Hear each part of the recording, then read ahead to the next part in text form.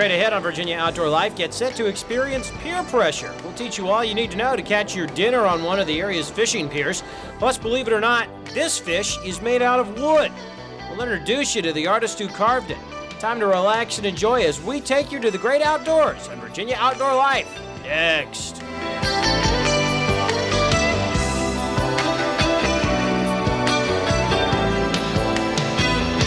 Hi, and how are you? Welcome to the show. This is Virginia Outdoor Life for Saturday, May 10th, along with the captain, Eric Burnley. I'm Bob Matthews. We're here at the Virginia Beach Fishing Pier. We're going to go out on the pier in just a few minutes and try our luck because this time of the year is when the action really starts to heat up in places like this. The water gets warm, about 60 degrees, and the croaker and the spot, sea mullet, you get a lot of fish moving up, maybe some blues. So it's a good time of the year to be fishing on the piers. That's pretty good value too. You know, you don't have to gas up a boat or Nope. anything like that, right? What are the what is what are the rates usually run down here at the I think it's five dollars. We'll check it when we get out there, but it's, it's very inexpensive. The uh, Virginia Beach uh, uh, fishing pier down in, in Sandbridge is two dollars. That's a city-owned pier. Now, all the other piers are private. There's this one. There's Lynnhaven, Grandview, Buckroe. Several piers up in, within the viewing area where people can go out, James River Pier, Right. and uh, enjoy the day for a very little investment in time or money. Right. Okay. Hey, time's a wasting. Let's, Let's go, go. Let's go get them.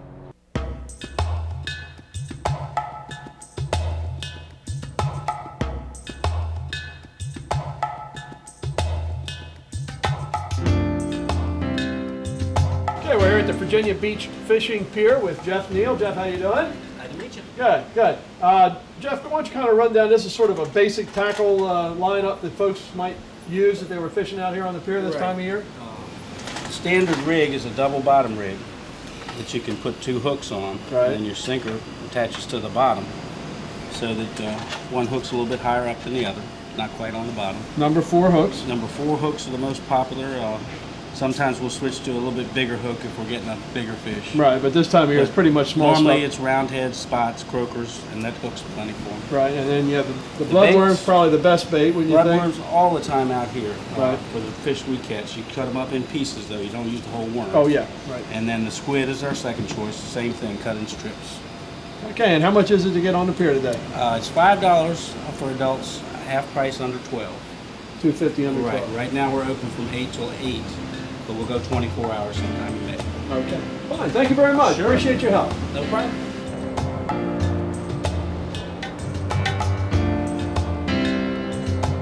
All right, you got your bait set up here. What do we Yeah. got? What are we going to use? All right, first of all, we have the, the rod and reel that we're going to use, and this is a very basic, anybody can get it anywhere. This one is older than I am. It's an old Garcia reel. Man. It's an old rod, perfect for pier fishing. It's You don't want too long of a rod when you're fishing on the pier Right. because of your restricted casting area and you hit people in the head and all like that. That would not be But good. you will see people out here with great big surf rods that just not necessary. This is the rig that we picked up in the, uh, in the tackle shop. Mm-hmm. I've put the two hooks on there, just loop them through this, loop them right through here.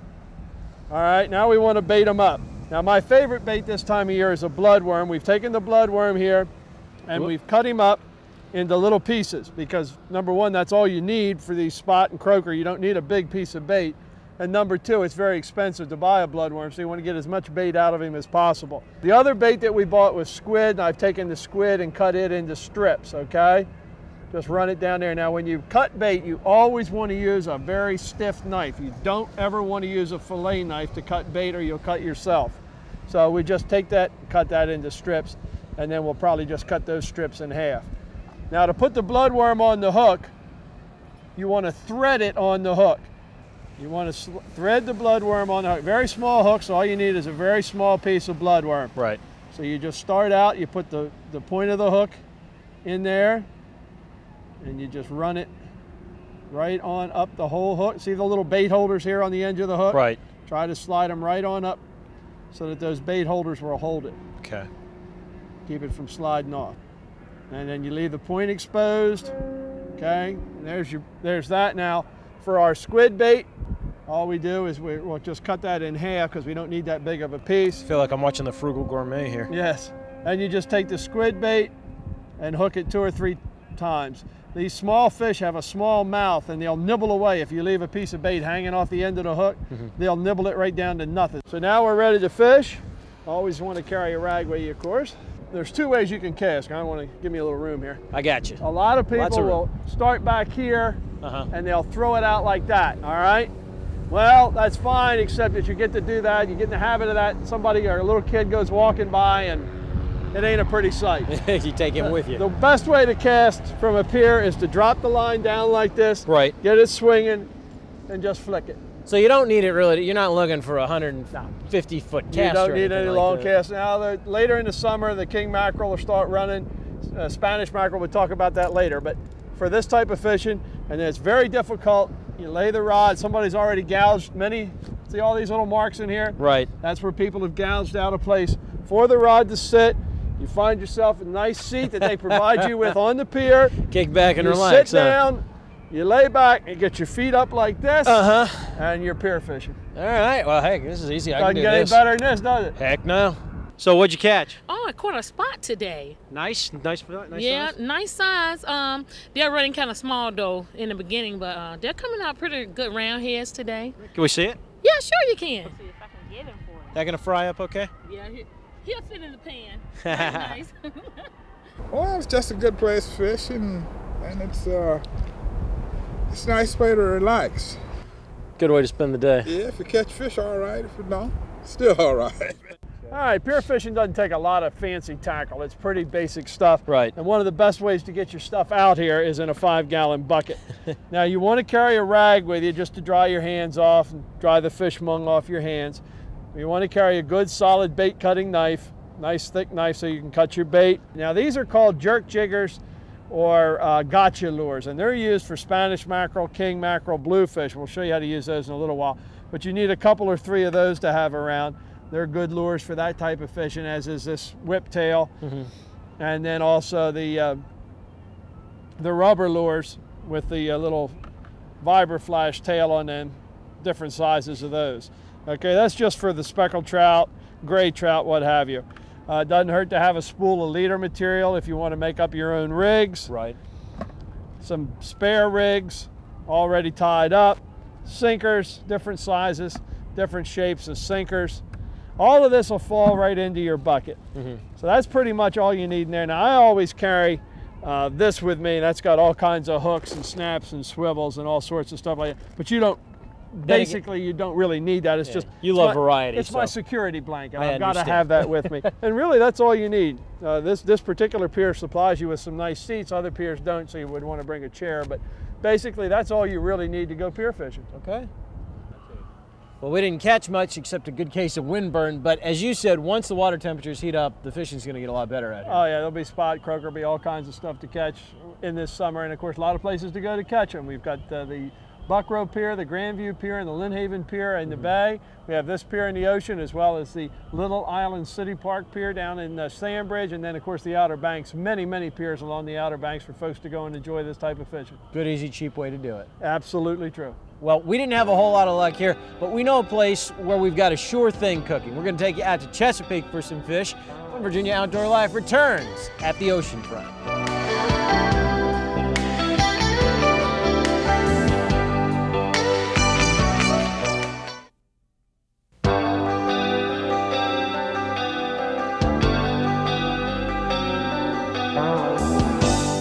To the oceanfront. We're here at the Virginia Beach Fishing Pier, and since we're talking about fishing, this is something that you brought to our attention a couple of months ago. You saw some of these fish carvings that we're about to show folks out at the shows, and they're fantastic, aren't they? They are. This it was a decoy show, but he was there with his fish, and I was really, really impressed with his work. Well, we decided to go on out to Chesapeake and take a tour of the shop and meet the man behind the fish.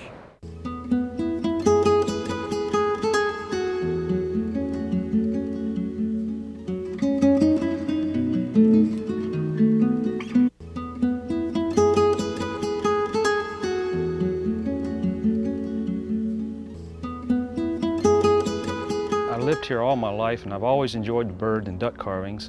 Uh, and I got the feeling that there was something people needed other than that. Uh, being one of the largest fishing areas in the world, uh, why not be different and try something different? And so it was started out as a, more as a hobby and just as something to do. And we started selling them, and people started asking more and more about them. And uh, uh, now we've got into a full-time job after retirement, and uh, the um, fish are just taking off. More shows are starting to have fish carvings in it and uh, promoting the, the art itself. I really believe in the catch and release type thing. You know, take what you're going to to use and put the rest back and people are not mounting fish like they did years ago and this is uh, you know a viable alternative to having a live fish mounted it's something made by hand not by the man, hand of God you know and this way it can be passed down to their children and their great grandchildren it'll be the same today as it is 50 years from now. Most of the fish I do here are native area fish like freshwater bluegill, the brim, uh, the bass. I do saltwater, uh, the redfish, and you know anything related to saltwater, speckled trout, and uh, things of that nature. Okay, well, let's go inside the shop here, see how you bring these things to life. Great. So this is where it all happens, right? Yep, this is my little little hole in the ball. All right. Well, what do you when you when you first started carving? How do you start? Uh, it begins with a uh, large block of tupelo, which I use for carving, and the tupelo comes from the swamps in North Carolina. It's uh, the old black gum tree, what they call the black gum tree, and they Right. use the base of the tree. And uh, I design a pattern, and uh, I, the pattern is, is put onto the tupelo and traced out. And then it's roughed out on a bandsaw, and I also have a top design of general shape of the fish that I want it to be. Right. And it's cut out on the bandsaw, which leaves me a rough pattern. Then I go my sander and re- remove a lot of the excess material. And you do all that by hand. Mm, when It's all done by hand, yes. And then what I don't do that, I take my knives or chisels and get the final shape. So how long does it take you from the block stage to right here? How long does this take? Oh, that's not that. That's That- probably, that- that's the easy probably part. two or three hours. Yeah, Oh, okay, that's, so that's the easy yeah. part. And then uh, once you get from there, you uh, I start getting the final sanding done and starting doing the, the facial details. Mm-hmm. Uh, where the, you put the eyes in and, and get all the faces, and then I start with the scaling, which really takes most of your effort. Originally, when I did it, I, I used to draw everyone individually by hand, but I have developed since then a one-step process where I make my own tips uh, to burn them in Right. in the burning process. Is that how you did it? It's done with like a with like a Yes, burning- it's done with a burning uh, burning tip that I, I make out of uh, I make them out of nails, believe it or not. Oh man. Instead of buying them, I, I had to produce my own, so I can produce any size scale that I need, Hmm. and uh, it's threaded in, and uh, I produce and use it as a burning technique to, to do the scales. Everything is relieved. That membrane is actually relieved from the portions here, Right. and then all the veins are, are burnt in. And the fins are all inserted except for the tail fin. Mm-hmm. They're all done on an insert basis. And then once he's done this, I seal it, I seal it with a, uh, a lacquer sealer, and then uh, the painting process begins. Oh man. I mean, it, it just it must take. I can't imagine the amount of patience it must take to put It- all those scales in. It takes a long time. Uh, that's like I said, that is the biggest portion of my time is doing the scales because if if you mess the scales up, or it, you it jumps right out at you. It's like a, a, a, a mar in a piece of wood or paint. You can see it. It comes right out at you. so what what happens when you mess up? I usually throw it away. oh man. Have you ever gotten to the point where you're like right down? oh yes, here and then oh yes, many times. Yeah. Oh, I just man. just use it for firewood. Well, Will, I know you don't display them out here, but this, this is a good place to show how the how all the, the everything catches the sunlight. These are some of your favorite pieces. Yes, right? these, these are some of the ones uh, we've completed recently. Uh, the catfish seems to be a, a, one of the f- uh, show favorites for some reason. Everybody likes it. As ugly as he is, they still seem to enjoy it.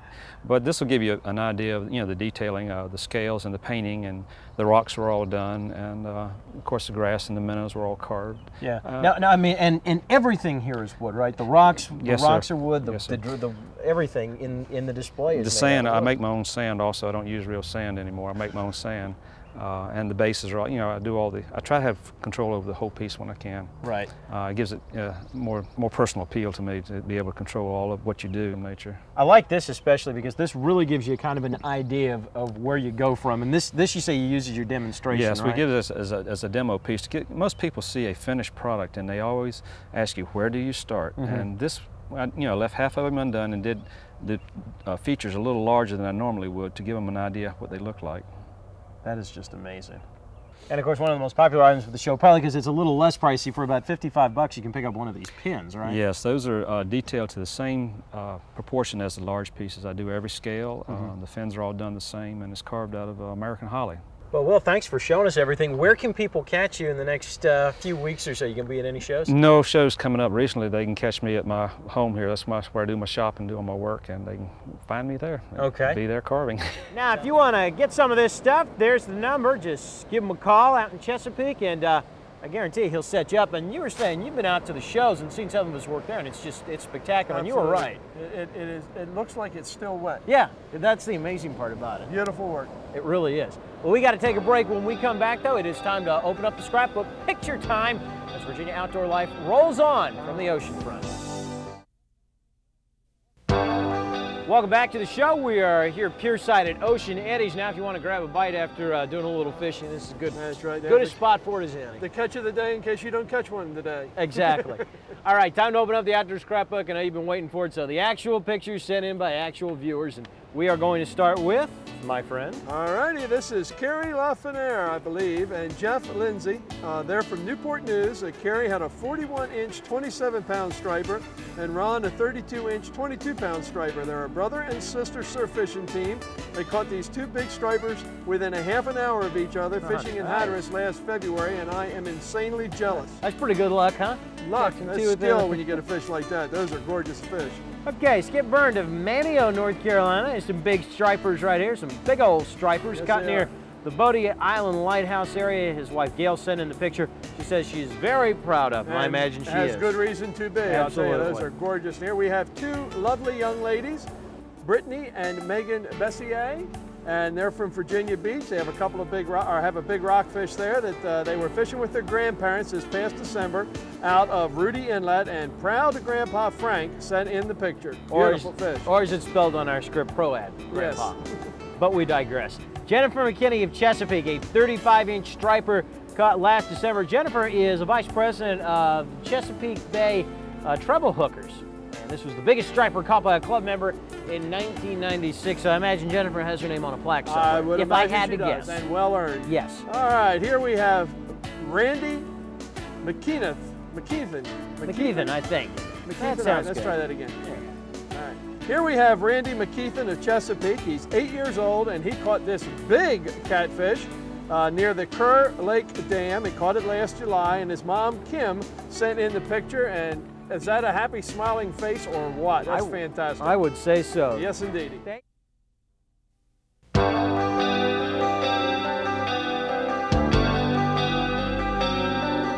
Welcome back to the ocean front. Time for a hot product, and since we've got a few days of turkey season left, we thought we'd give away a couple of more turkey calls. We've got a raspy double hook and a clear hook from Primos, and uh, since we don't want to take them out of the package and ruin them for whoever's about to win them, That's right. and you want to know more about it, then well, take a look at this.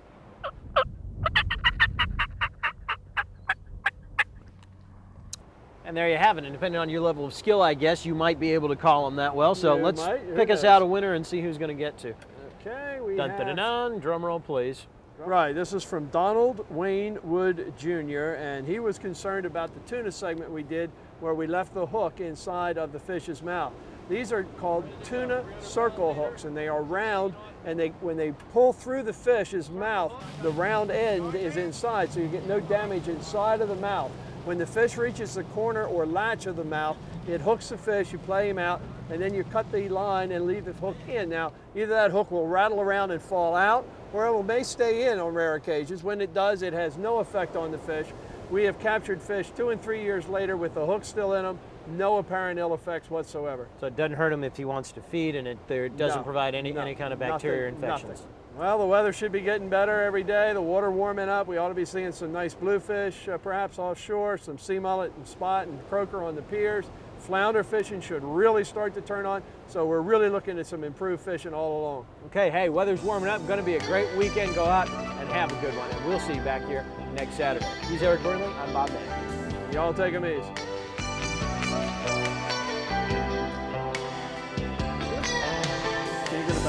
Hold this, open that up.